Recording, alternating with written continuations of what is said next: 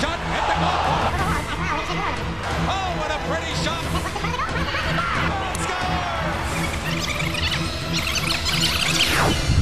At the point, looks for Thompson instead, elects to keep it. On net, rebound, score! Cheeseman. Although he was originally a Rangers draft pick, came over in the Esa Tikkanen deal a few years ago. Splitting the seam, good move, score! We talk about Brian Urick, and he delivers. Molina a penalty coming. Chad Chip Chase keeps it hot for now. Centers off the side of the net, and the rebound, score! What great work by this fourth